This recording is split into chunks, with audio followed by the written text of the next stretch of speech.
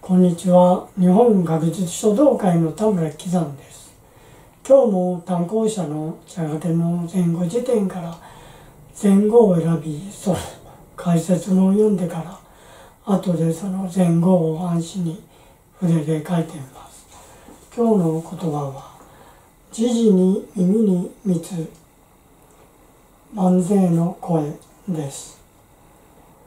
時折あのめでたい万歳の声が耳に聞こえてくる。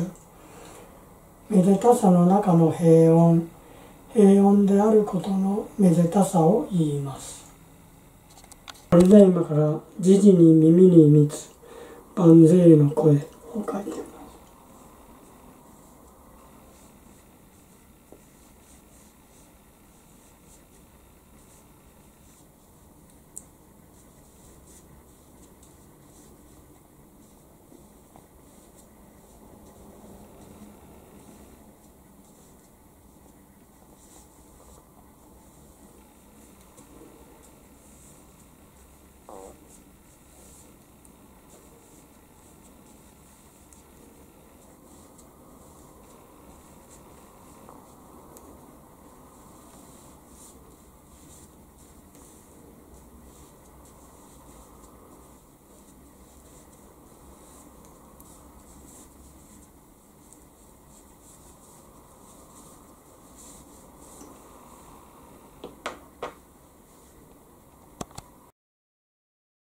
最後までご覧いただきありがとうございます。